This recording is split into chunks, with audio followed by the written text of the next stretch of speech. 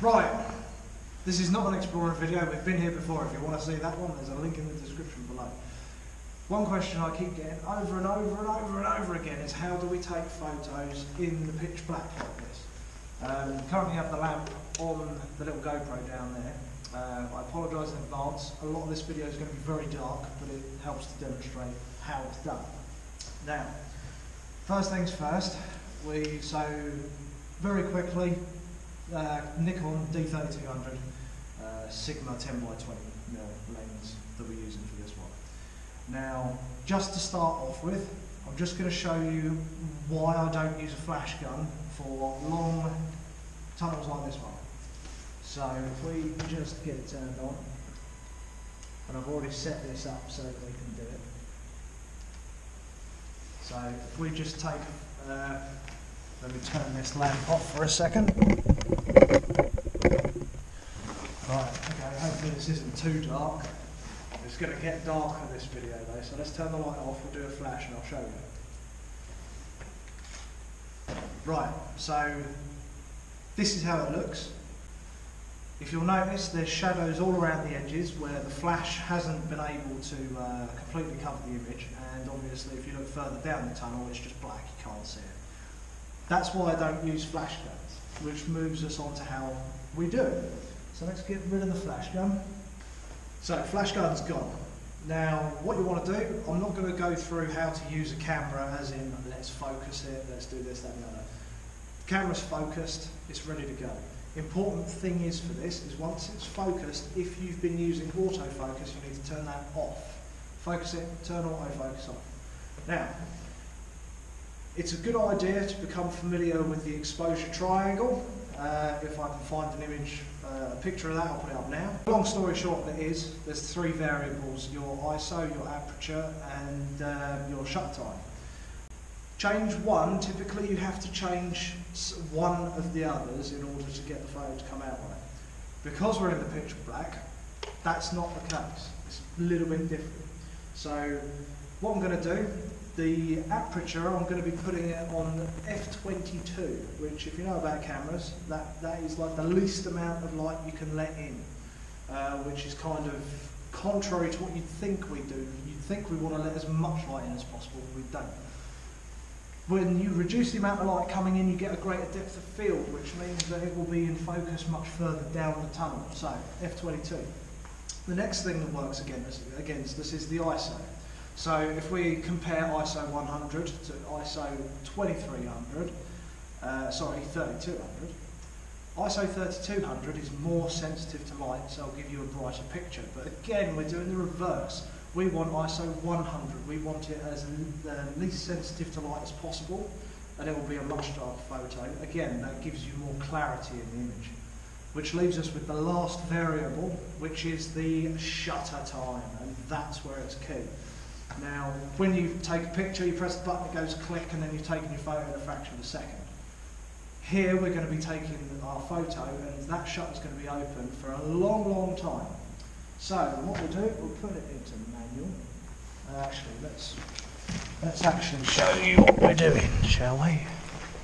So, so on the top dial, you want it in manual. Once that's here, let's have a quick look.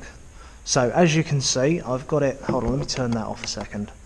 Oh, there we go. So it's set at f22. Uh, the ISO is, oh, hold on. So the ISO is 200. Um, you can use ISO 100 or 200.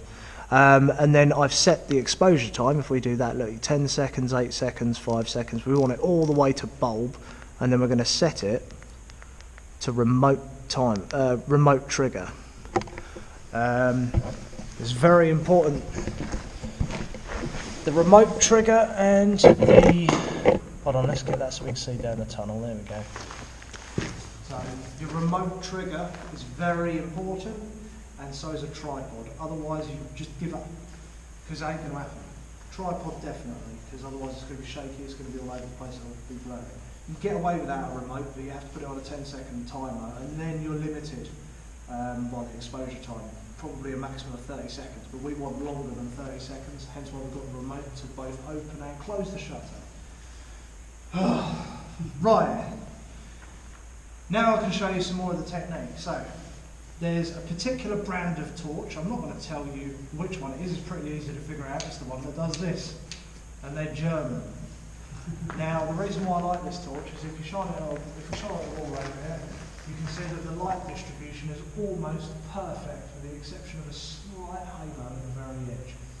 That helps to um, evenly paint it in. So let's turn this light on the uh, on the GoPro off for a second. So we've just worked on the torch light now. So we've got this set up, it's ready to take pictures, and this is where you have to start light painting. Now I'll explain as I go. So there we go. So we've opened the shutter. So now what we do, we move around. We want to evenly paint in the light. Now, you can do this for a long time because we're only letting in a tiny amount of light. Now to get the, get the back of the tunnel, we use something that me and Badger coined the SAR effect, and this is where this torch comes in. because we slowly go in and out, like that. But what's important as well, because there's tunnels going left and right, you want to move left to right, and you want to go up and down, and this helps to eliminate shadow from your image. Now I think we're pretty much good on that exposure, so we're going to stop it. There we go, so we turn that off. Uh, let's turn this back on for a second. Uh, now this camera takes a while to expose, so I'll, I'll edit. Right, it's finished processing, so now if I bring you over to the camera, you can see what we get, which I'll... There we go, so that's nice and even. Uh, there's a little bit of shadow down there, so under normal circumstances I would retake that image. Yeah, I'll put it on the screen now for you, unedited, so you can see it. Um, yeah, you can see there's a bit of shadow in the side tunnels. Um, yeah, under normal circumstances I would retake that shot, but as this is just a tutorial, we won't worry about trying to get this one perfect. Um, next step, light painting. Right, so next trick, a uh, bit of light painting. You would have seen on our channel banner. We've written. It was actually in these times we did it. Funnily enough, yeah. uh, you can you can using light write words or pictures on the walls using light. Uh, far better way to graffiti is not permanent. Let's move that. I'm going to slip over it. So you have to work a lot of time for this. So again, I'm using exactly the same settings as I was using before, but I've switched torches. Same manufacturer, yeah? But what we're going to do, I'm going to leave this zoomed in like this. So that when I put it next to the wall, it's very bright like that, yeah? Now, when you do this, essentially what you're doing, let's say I wanted to draw a circle, just hold it close to the wall, but you have to bear in mind where you are in comparison to the camera. If I'm still in front of the camera and I'm doing this, you're going to get my outline. So you need to make sure that if the camera's here, you're off at one side like this so it can see everything you're doing. So, very quick go at that. So let me turn the light off on the lamp. So what I'm going to do, I'm going to draw a picture. I'm going to turn the torch off because we're going to use it on momentary press because that way, like this, that's how you can draw letters. So what I'm going to do, I'm going to draw a picture, I'm then going to turn the torch off, I'm going to move behind my camera over, over this way, and then I'm going to very, very quickly flash the tunnel just a tiny bit, just to light it up there. If you do too much, you'll drown out what you've done wrong. So let's give this a try. Just see where I am in comparison. Okay, go.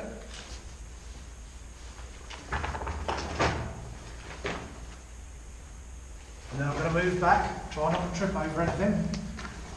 Put the light on, quick little flash, stop the exposure. And we'll see if Dave noticed what I drew. yep, there we go. okay, so that is the ER Dave, I'll show you what it is. And, uh, here it is on screen. I know, I know, I'm a big kid um, but yeah, that's how you do it. And you can do the same with lettering as well. So yeah, that's how you can do writing and pictures. Right, so for this one, I am going to put you guys underneath the tripod so you can see straight down the tunnel to see what I'm doing. Now for this one, I'm going to ask Dave for a hand. Right, okay. So, like an idiot, I've forgotten my LEDs, my string, my carabiner, so I can't do any of the LED light painting, but we can still do some weird stuff with the LED. Um, so what I'm going to do, I'll do a stripy tunnel, and then when I get to the end of the tunnel, I'm going to be in the pitch black, I'll take the torch apart to expose the LED, and we'll do some weird little trails down here. Which in fact, for that, what I'm going to do, I am going to change my aperture to f. Mm, we'll do it on f16. There's going to be uh, the light's not going to be evenly distributed, so we need a bit more sensitivity. I'm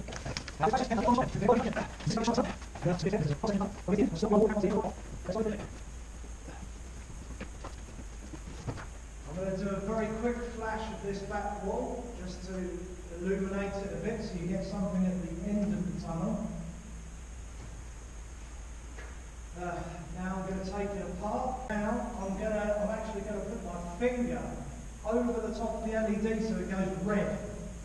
And then I'm going to come down the tunnel like this, is burning my fingers. I've got to be quick, very quick, because this is burning my hand. Ah! Oh. Yep. Oh, point out it. That's it.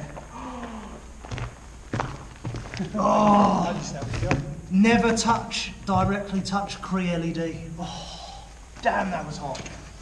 So yeah, let's wait for it to expose. I forgot to turn the bloody camera lamp off though, so this might be a bit bright. Might have to try again. Right, okay, so I forgot to turn this lamp off on the camera, so this may be well overexposed, but it'll be a good, uh, good example of overexposure for you and how too much light can completely wreck it. Don't know, might get lucky. Camera's still processing, so we'll edit now. Right, here we go. So yeah, this is massively overexposed. Hold on, let me turn the lamp off here so that the camera can stop flashing, you stupid thing. Okay, so it's kind of worked, but that is massively overexposed, so you don't get the right effect. You can kind of see what I was going for down the middle. You can see the red light in my hand. I don't think we'll do that for the second go. So let's try again. Right, so this time I've turned the lamp and the camera off. We should get a much better uh, picture out of this. So, uh, are you ready, Dave? Yeah, mate, ready. Go.